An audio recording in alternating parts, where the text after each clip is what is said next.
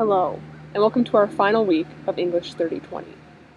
In his 1855 Song of Myself, Walt Whitman dedicates a few stanzas to answering a child's question, What is the grass?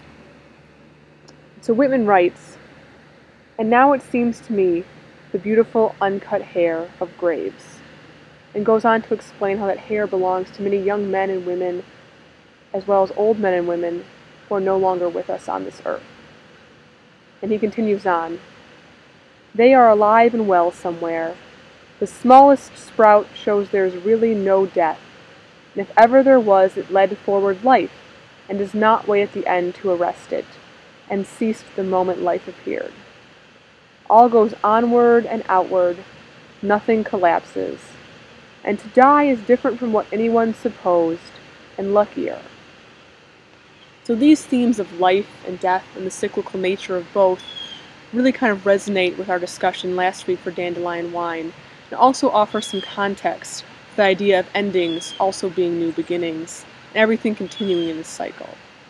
I'm hoping that throughout this semester, some words have inspired you and, and stuck with you, like Walt Whitman's words have inspired and stuck with me. So join me together as we close the chapter on English 3020.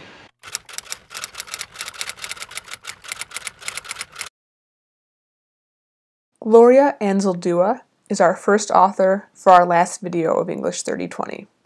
She was born in 1942 and died in 2004. And Gloria Anzaldúa was born in Jesus Maria of the Valley in South Texas, which was a ranch settlement where several families lived together on the same land. Her parents were very poor, but they did their best to provide for their four children. So at the age of 11, Anzaldúa moved away from the ranch settlement to Hargill, Texas. She had one sister and two brothers, she and her sister were the only two children to graduate from high school, while her parents never actually attended high school. At the age of 15, Anzaldúa's father died, so she and the family had to work together in order to make a living. And she and her family would travel from Texas to Arkansas to make money as migrant workers. And she actually did farm work until she earned her BA in 1969 from Pan American University.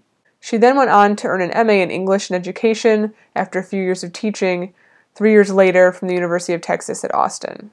And at a young age, Anzaldúa really rebelled against the expectations and kind of prescribed gender roles of her Chicano household, which she described as strict. She was the only one in her family, and as she later told interviewers, the only one in her area to go to college. She was also a lesbian, something her mother did not support, which led her to have a very complicated relationship with her mother and the rest of her family. Later in life, she pursued a PhD at the University of California, Santa Cruz, and this came about after she spent a few years studying for a PhD at the University of Texas at Austin, where they would actually not let her fully embrace the Chicano and feminist topics she wanted to study. And throughout her career as an instructor, she taught both literature and creative writing at the college level. She completed her PhD shortly before her death, and she ended up dying from complications with diabetes. Her most famous work is called Borderlands La Frontera, The New Mestiza, which uses the Mexican American border as a kind of springboard for a discussion of a whole host of other topics like belonging, identity, politics, social issues, gender expectations, homosexuality. The work combines English and Spanish, which is kind of a common feature of Anzaldúa's work, as well as poetry and prose to deliver its messages. So she was kind of very interested in creating this hybrid structure that kind of drew on both parts of her identity, or all parts of her identity. And she's really kind of most famous for being an author and scholar in the fields of feminism, um, especially feminism focusing on people of color and people of the third world.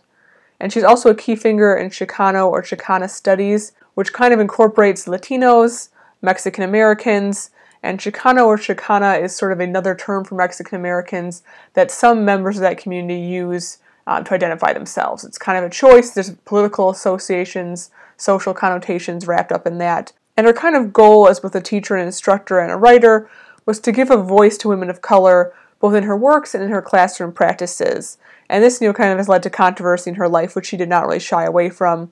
She was very interested in an inclusionary feminism that included all women of all colors and races, as well as kind of an activist for various political causes. Ursula K. Le Guin is our second author for this week and one of my personal favorite authors of all time. She was born in 1929 and is still alive today. Her birthplace was Berkeley, California, and her father, Alfred Kroeber Le Guin, was an anthropologist, while her mother, Theodora Covell Brown, was a writer. Her father was famous for studying the culture of the California Native Americans, and his work, as well as her mother's work, may have influenced the power of her world and culture building in her own writing. Le Guin had three older brothers. Le Guin started writing at the age of five and actually submitted her first piece of writing to a journal at around 11 years old. It was rejected, but about 20 years later, that same magazine that originally rejected her would go on to publish some of her work. And Le Guin's home was full of intellectuals and storytelling because of the occupations and the sort of crowd that her parents associated with. And this environment, you know, probably had a, a pretty big influence on Le Guin. She studied at Radcliffe College for her undergraduate degree and then got her graduate degree from Columbia University. She started on a PhD program studying in France, but on the way over to France, she met Charles Le Guin in 1953. They married that Christmas in France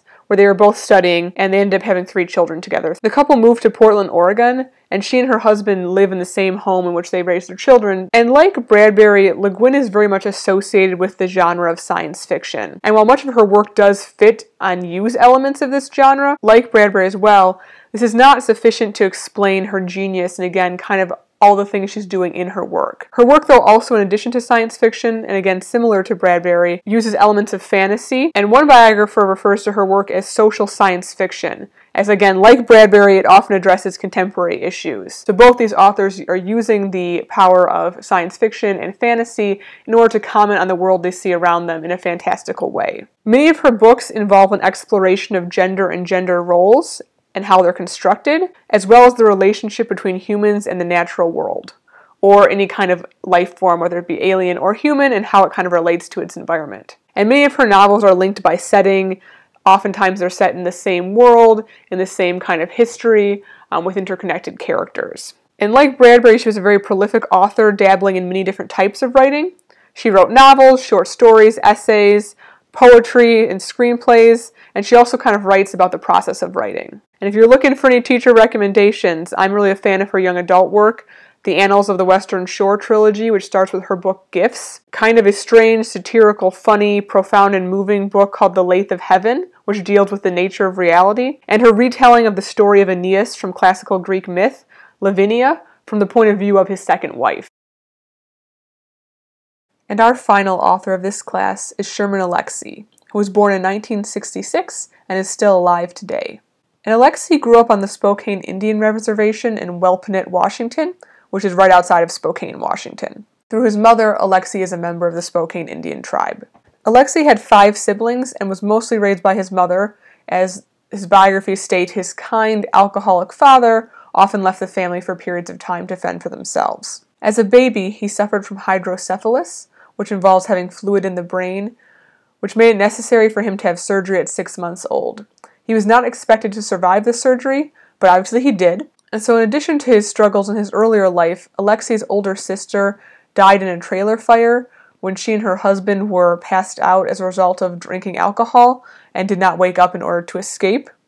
And alcoholism um, is a major issue he deals with in his writing, and he actually deals with this specific event in his book for young adults, The Absolutely True Diary of a Part Time Indian which is a fabulous book and I highly recommend.